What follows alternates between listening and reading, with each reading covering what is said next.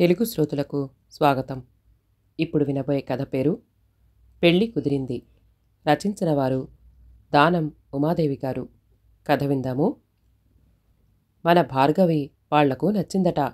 ఇప్పుడే ఫోన్ చేశారు. Cell phone జేబులో పెట్టుకుంటూ తల్లితో భార్యతో చెప్పాడు ప్రభాకర్. కొందనపు బొమ్మలాంటి నా మనవరాలు ఎవరికైనా నచ్చుతుంది. మురిపెంగా భార్గవిని చూస్తూ చెప్పింది సావిత్రమ్మ. వాళ్ళు ఎంతలో ఉన్నారో ఏమో అంటూ సందేహం వ్యక్తం చేసింది. భార్య భార్య వంతన వైపు సాలోచనగా చూశాడు ప్రభాకర్.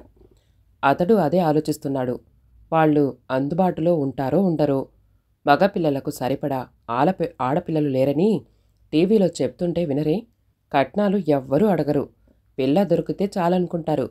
మహా అడిగితే లక్ష అంతకు మించి ఏవీ ఉండదు. కొడుక్కి భరోసా ఇచ్చింది సావిత్రమ్మ. అనుకున్నట్లే జరిగితే అంతకన్నా కావాల్సిందేముంది? వందన అందించిన కాఫీ గ్లాస్ అందుకుంటూ చెప్పాడు ప్రభాకర్. ప్రభాకర్ చిరుద్యోగి. అతనికి ఇద్దరు పిల్లలు. భార్గవి ఎంఎస్సి పాస్ అయి ఉద్యోగ అన్వేషణలు ఉన్నది. కొడుకు లోహిత్ బీఎస్సీ సెకండ్ ఇయర్ చదువుతున్నాడు. హైదరాబాదులోని ఒక ప్రముఖ కంపెనీలో సాఫ్ట్వేర్ ఇంజనీర్గా పనిచేస్తున్న ప్రశాంత్ తన తల్లిదండ్రులతో కలిసి వారం క్రిందట భార్గవిని పెళ్ళి చూపులు చూసి వెళ్ళారు. వాళ్ళు మన సంబంధం నచ్చిందని చెప్పారు. అబ్బాయి నీకు నచ్చాడా? కూతుర్ని అడిగాడు ప్రభాకర్. దాని మొహం దానికేం తెలుసు?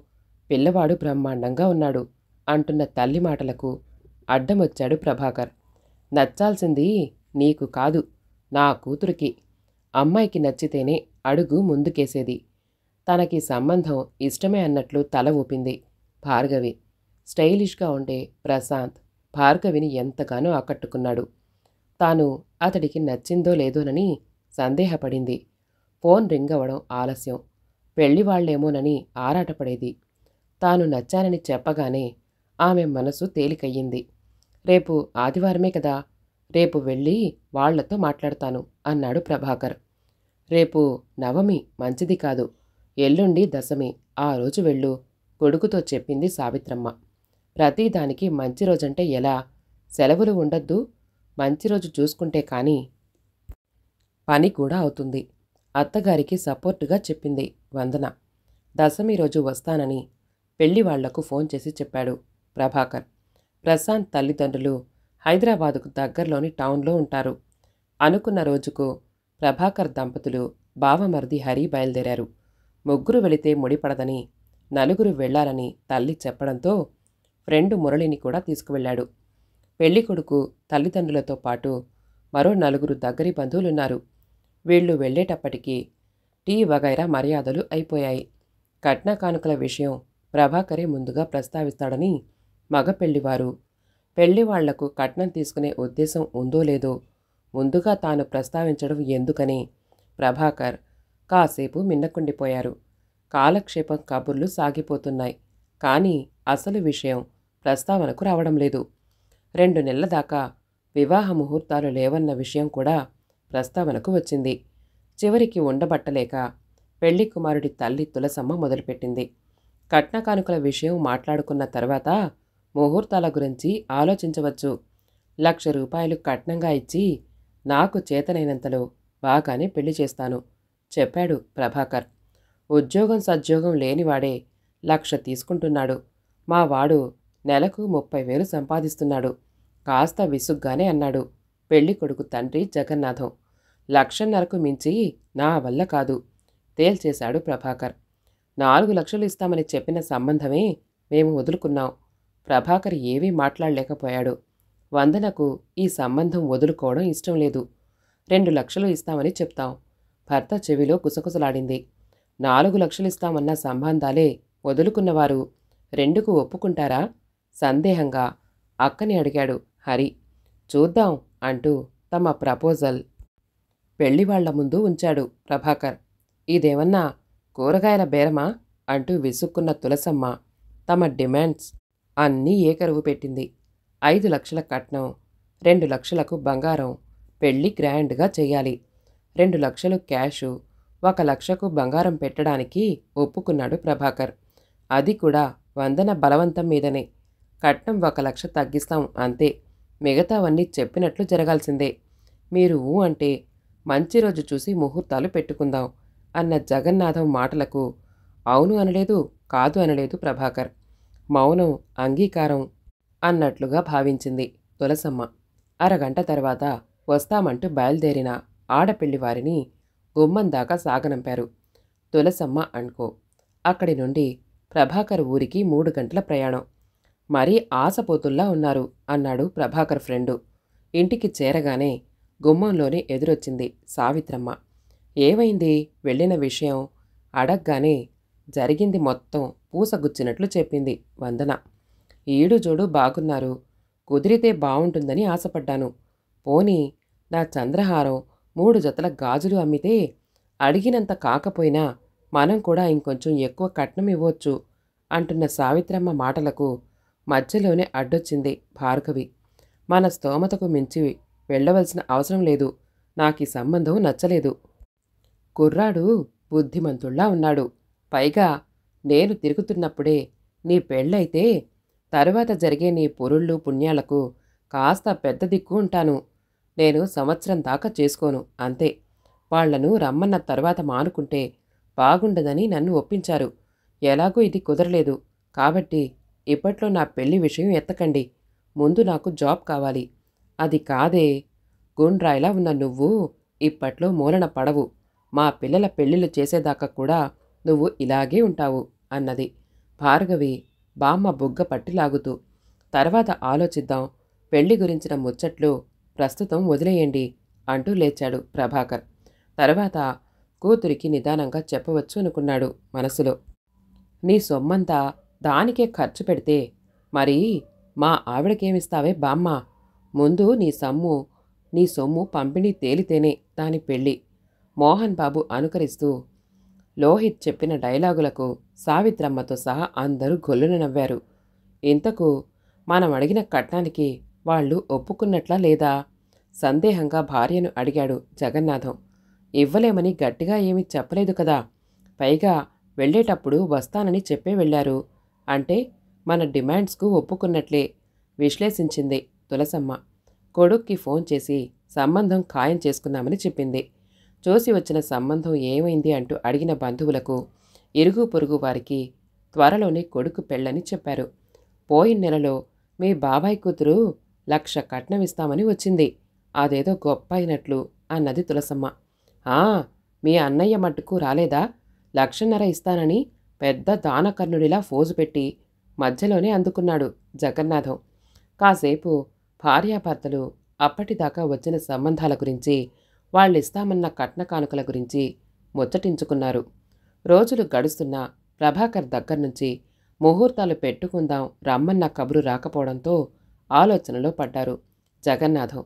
వచ్చే వారం నుండి వరుసగా ముహూర్తాలున్నాయి.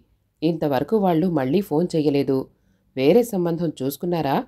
భార్య దగ్గర సందేహం వ్యక్తం చేశాడు. రెండు రోజుల్లో ఫోన్ వస్తుందని నా నమ్మకం అన్నది తులసమ్మ.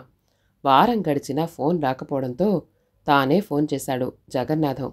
మీరు అడిగినంత కట్నం ఇచ్చుకునే స్తోమత నాకు లేదు. మేము వేరే సంబంధాలు చూస్తున్నాము అని చెప్పి ప్రభాకర్ ఫోన్ చేయడంతో కంగు తిన్నారు తులసమ్మ దంపతులు. ఈ విషయం ముందే చెప్పొచ్చుగా? అనవసరంగా అందరికీ పెళ్ళి కుదిరిందని చెప్పాము. ఇప్పుడు సంబంధం తప్పిపోయిందని తెలిస్తే మనలోనే లోపముందని అనుకుంటారేమో. భార్య దగ్గర సందేహం వ్యక్తం చేశాడు జగన్నాథం. అమ్మాయి ప్రవర్తన సక్రమంగా లేదని తెలియడంతో మనమే సంబంధం వదులుకున్నామని చెప్తే సరి తన తెలివితేటలు ప్రదర్శించింది తులసమ్మ. వాళ్ళ కుటుంబం మంచిదని అందరికీ తెలుసు. వేరే ఏదైనా చెప్పాలి. తులసమ్మ కొడుక్కి ఫోన్ చేసి విషయం చెప్పింది. ప్రశాంత్ తల్లిపై ఇంతెత్తున ఎగిరాడు. వాళ్ళ అభిప్రాయం తెలుసుకోకుండానే పెళ్ళికి ఒప్పుకున్నారని ఎందుకు చెప్పారు? నేను ఆఫీస్లో అందరికీ చెప్పాను. ఇప్పుడు ఈ విషయం తెలిస్తే పరువు పోతుంది. నాకు ఆ అమ్మాయి బాగా నచ్చింది. మీకు ముందే చెప్పాను కదా వాళ్ళిచ్చింది తీసుకోవడమే కానీ ఇంత ఇవ్వమని ఒత్తిడి చెయ్యవద్దని. తాను ఆ పిల్లనే చేసుకుంటానని కొడుకు పట్టుబట్టడంతో తులసమ్మ దిగిరాక తప్పలేదు. మళ్ళీ ప్రభాకర్కు ఫోన్ చేశాడు జగన్నాథం. సెల్లు ఇంట్లోనే మర్చిపోయి ప్రభాకర్ వెళ్ళిపోవడంతో వందన కాల్ రిసీవ్ చేసుకుంది. నేను జగన్నాథాని మాట్లాడుతున్నాను అంటూ ఇంకా ఏదో చెప్పబోతూ ఉండగా మధ్యలోనే అడ్డం వచ్చింది వందన. మేము వేరే సంబంధం చూసుకుంటున్నాం. అమ్మాయి ఒక్క నిమిషం అంటున్నాడు జగన్నాథం. ఫోన్ ఎక్కడి నుండో సావిత్రమ్మకు అర్థమయ్యి కోడలి చేతిలోని సెల్ తీసుకుంది. కోట్లు ఇచ్చే సంబంధాలు చూసుకోండి మా అభిప్రాయం చెప్పాం కదా. ఎందుకు మమ్మల్ని విసిగిస్తున్నారు? ఏం మాట్లాడాలో అర్థం కాని జగన్నాథం ఫోను భార్యకిచ్చాడు.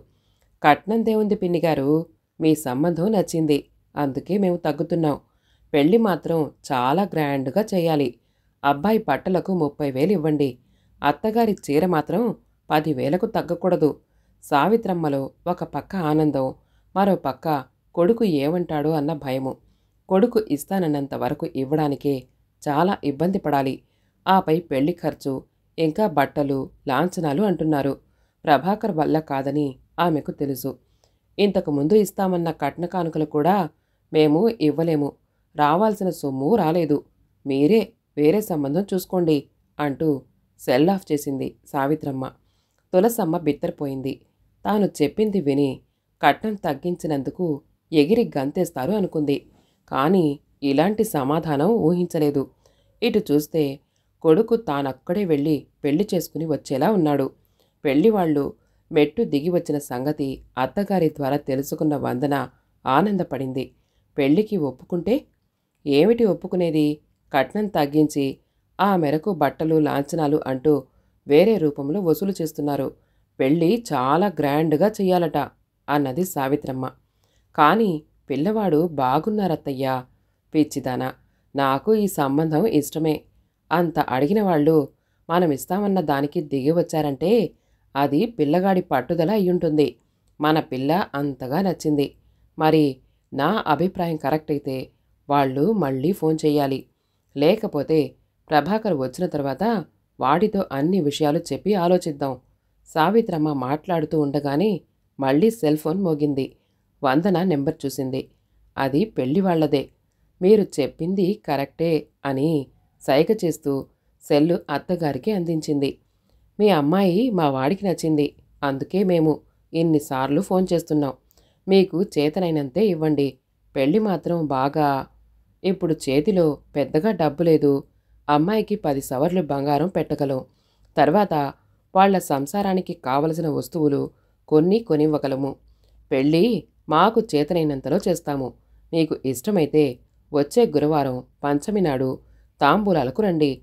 లోపలి గదిలో కూర్చొని టీవీ చూస్తున్న భార్గవి అన్నీ వింటూనే ఉంది. ప్రశాంత్ ఆమెకు బాగా నచ్చాడు. కట్న కానుకల దగ్గర తేడా తేడా రావడంతో అతన్ని మనసులో నుండి తుడిపేసుకుంది. వాళ్ళే మళ్ళీ ఫోన్ చేయడంతో భార్గవిలో ఆసక్తి పెరిగింది. అటు నుండి వచ్చే సమాధానం కోసం చెవులు రిక్కించింది.